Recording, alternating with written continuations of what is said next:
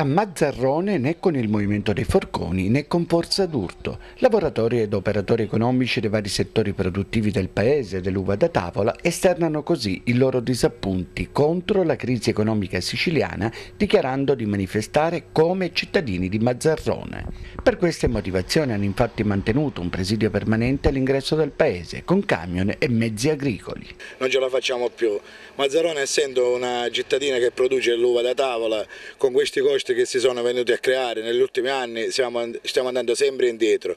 Nonostante siamo una comunità che diamo lavoro a 5-6 comuni qua vicini, stiamo facendo questa protesta per la prima volta qua a Mazzarrone perché siamo arrivati con le spalle a terra. Mm, parlo a nome di tutti i negozianti, gli esercizi commerciali che eh, siamo legati come un filo conduttore con l'uva da tavola perché se loro giustamente non ce la fanno con le spese, noi eh, commercianti, noi negozianti, per noi non c'è assolutamente nulla.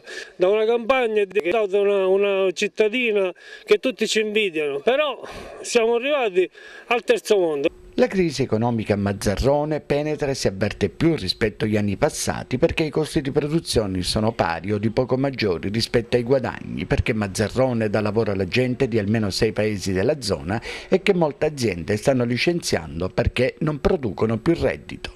Che qua a Mazzarrone siamo tutte persone che produciamo reddito vero reddito vero, non siamo come la grande finanza, come la borsa che sale e scende e rubano dalla mattina alla sera, qua produciamo reddito, diamo lavoro, dobbiamo abbattere questi costi di esercizio, iniziamo, ripeto a dire, dal gasolio, i contributi unificati, l'energia elettrica e poi si ci mette anche la SERT, l'Equitalia, i verbali, siamo persone che paghiamo le tasse, le tasse le vogliamo pagare, a Roma ci possiamo anche andare, intanto siamo qua a Mazzarone a protestare.